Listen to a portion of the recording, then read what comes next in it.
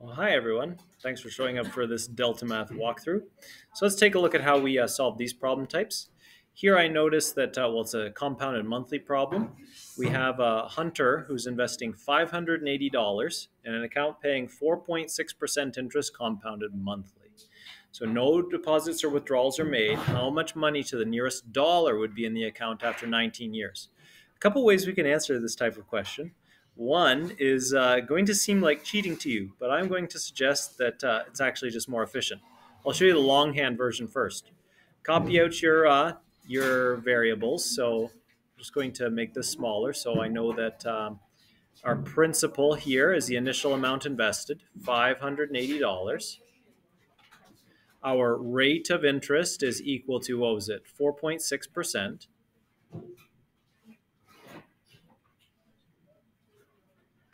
And our compounding period, well, we're monthly, so C is 12. Interest is applied 12 times. And what's time? 19 years. So let's go ahead and find that. T, 19. Okay? Now, we're going to use this formula. Future value is going to be equal to the principal multiplied by 1 plus R divided by C raised to the power CT. Okay? And substitute and solve carefully with BEDMAS.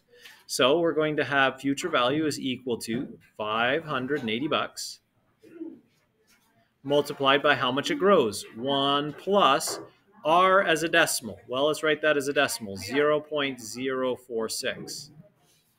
0 0.046 divided by 12. Okay? And then CT. Well, C is 12. So it's 12 times 19 years. Basically, that's the answer to the question how many times was interest applied?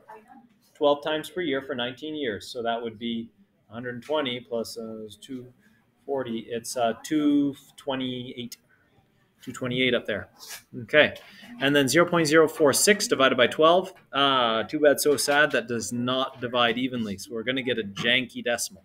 So here's how I would manage this do it in BEDMAS order. I'm going to start by evaluating inside the bracket. So I'm going to do 1 plus, uh, 0.046 divided by 12 equals. And what this number represents, 1.0038, it means 0.38% interest is applied every month. So that's our interest rate per compounding period. And then we're going to raise that to the 12 times 19. So I'm going to raise this to the this number here, 12 times 19. So 12 times 19 equals this number here. So his number has his money has almost increased by a factor of 20. Very cool. That's nice to see your money grow by a big factor. And then we're going to multiply that by 580. That's our last step he will have $11,537.74. Feels like I made a mistake. But let's see if Desmos uh, Delta Math likes it. Actually, I, at this point, I could check against uh, the Desmos method. I'll show you the Desmos method. Now, here's the Delta Math method that you might say, is this even fair? And I would say yes, because anyone that's working in this industry is going to use all the tools that they can. They're going to be interacting with a client and talking to them about different investment strategies or borrowing strategies, and they want to be able to serve that person numbers quickly. This allows you to answer many different questions quickly, so it's useful as a tool. All I've done is I copied out my formula here. Future value equals the principal multiplied by 1 plus r over c to the CT. And then I can just input the value of these variables. $580 was invested. The rate was 0.046. The uh, C was uh, 12, it was compounded 12 times, and time was 19 years. Let's go up and see. So then it just outputs what uh, the uh, that value is.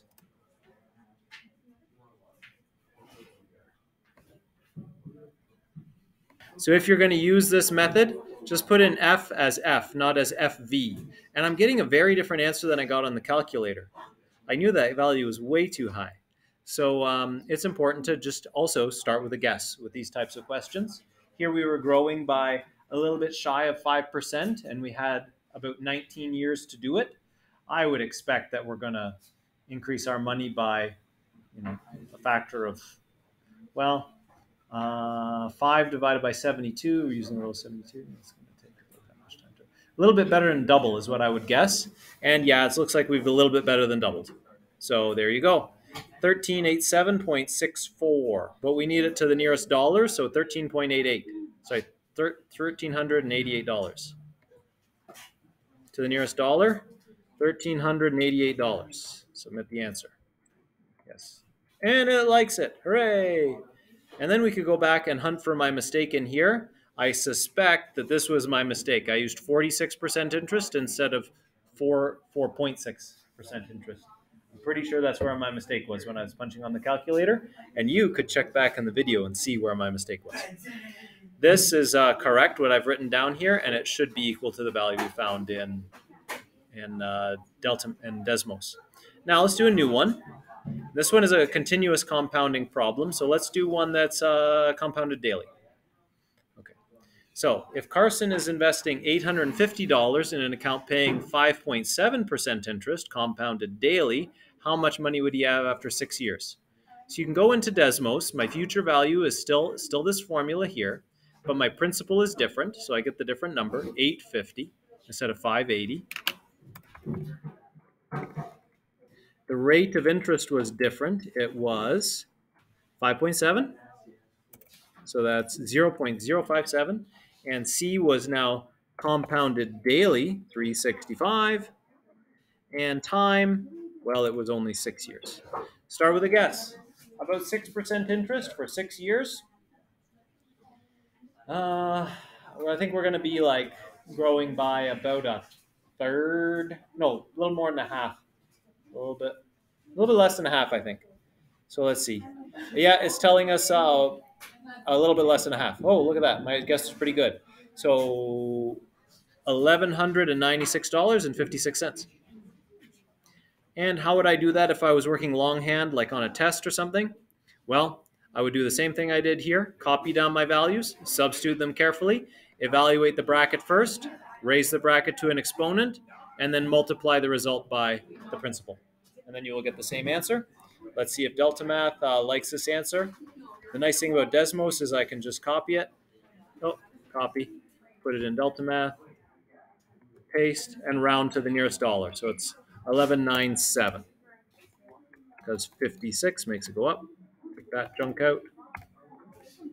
Hooray! Okay, now let's take a look at a continuous compounding question.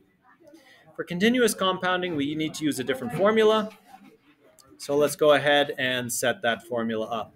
Uh, you would use a fresh Desmos window for this, and you would say the future value is equal to the present value. You can remember PERT, P times E raised to the RT. Okay, Notice that it did not suggest that I create a slider for E because it knows E is the special exponent number. Desmos already knows that number. So let's put in P equals, and uh, P equals in this case $8,500. And then we're going to also put in R. R is 3.4% are equal 0.034. Someone who loves Fibonacci numbers is making these problems. 34 is a Fibonacci number. 8 and 5 are both Fibonacci numbers.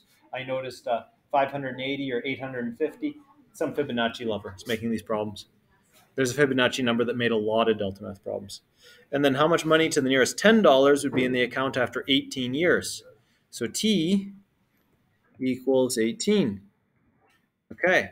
And at 3% interest or a little better.